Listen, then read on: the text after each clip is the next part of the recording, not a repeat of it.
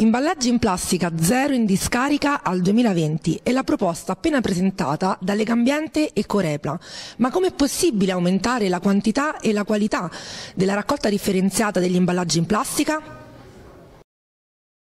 Eh, la raccolta differenziata degli imballaggi in plastica può essere migliorata eh, sia quantitativamente che qualitativamente. Quantitativamente perché oggi abbiamo consultiviamo una raccolta che praticamente è pari al 55% dell'immesso al consumo, il che significa che il 45% di 2 milioni di tonnellate, che sono 900 mila tonnellate, per cui è un numero assai significativo, non vengono raccolte differenziatamente. Che cosa succede di questa frazione? Eh, che i comuni che non fanno la raccolta differenziata questi materiali li mandano o direttamente in discarica o uh, direttamente a incenerimento nei termovalorizzatori comunali.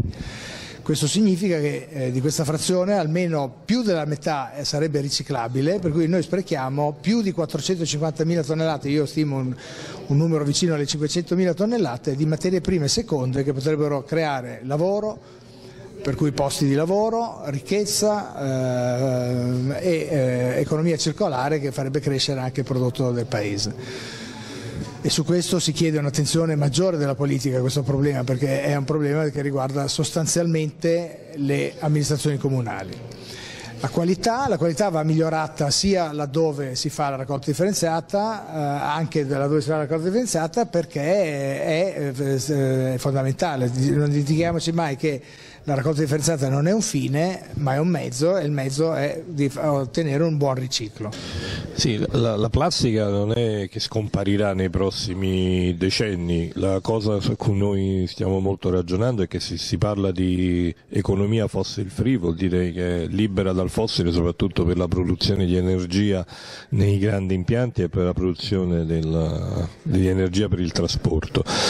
Però ciò nonostante c'è la possibilità oggi soprattutto per un paese come l'Italia che è privo di materia prima di eh, sviluppare un settore industriale che è quello del riciclo della plastica, del riciclo degli imballaggi sia nel settore industriale ancora oggi purtroppo c'è un eccesso di utilizzo di questa, del, degli imballaggi nel settore della termovalorizzazione, ma invece molto di questo andrebbe riutilizzata nel settore del manifatturiero, anche eh, riformulando completamente il sistema degli incentivi che oggi è troppo premiante rispetto ai termovalorizzatori facendo un accordo con i cittadini. I cittadini sono disponibili a cambiare se capiscono qual è la direzione.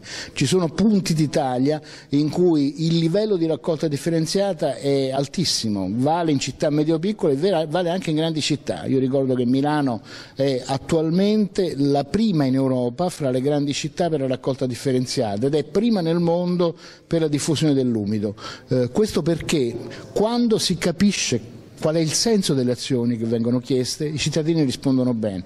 C'è un problema di trasparenza, di indicare una direzione condivisa e di far capire che queste azioni non sono delle azioni dovute diciamo, alle fissazioni di qualche burocrate, ma sono azioni che preparano il futuro, che rendono eh, migliore la nostra vita, che preparano un'economia più competitiva. Eh, dunque, mm, riprendo il, quello che sono stati gli interventi soprattutto di Stefano Ciafani di Lega Ambiente per confermare che come CONAI noi stiamo già agendo su questa proprio tipologia di, di progetti che, eh, che, Stefano ha richiamato. In modo particolare per quello che riguarda le imprese noi abbiamo un progetto che è un progetto di prevenzione, quindi aiutiamo le imprese a produrre eh, imballaggi più ecocompatibili. Questo ha un, un riscontro poi eh, molto positivo sull'attività di, di, riciclo che noi ricordiamo è l'importante. Eh, anche oggi si è parlato molto di raccolta differenziata eh, in un ambiente in cui invece si deve parlare di riciclo e su questo anche con Lega Ambiente abbiamo detto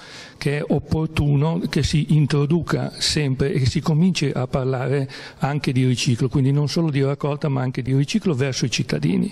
Il secondo aspetto, sempre verso le imprese, riguarda quella che è già stata richiamata come eh, differen- differenziazione del contributo ambientale. Noi stiamo valutando eh, in funzione della riciclabilità degli imballaggi un contributo diversificato.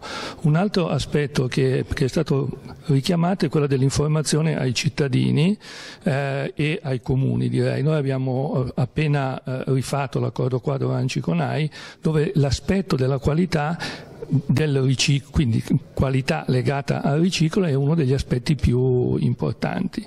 Eh, da questo punto di vista è importante dire ai cittadini che esiste un sistema, che è il sistema CONAI, consorzi di filiera, eh, che avvia al riciclo i materiali, quindi lo sforzo che a loro si chiede in casa di separare i rifiuti è importante, è importante che lo facciano bene perché da questo dipende il riciclo.